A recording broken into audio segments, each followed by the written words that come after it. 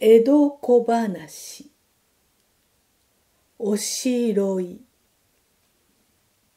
女房のお梅が毎日ベタベタとおしろいを塗るので亭主の一末がつい愚痴る。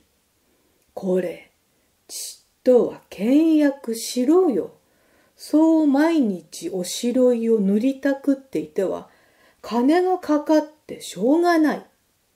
言われたお梅、家計第一とばかり、それからはおしろいを塗らなくなった。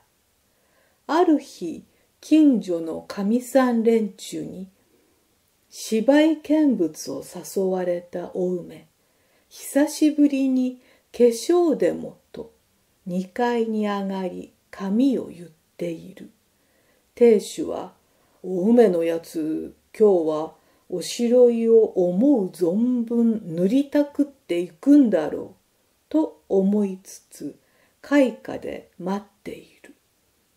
ほどなくして二階から降りてきたお梅を見れば、なんと目の縁ばかりにおしろいを塗っている。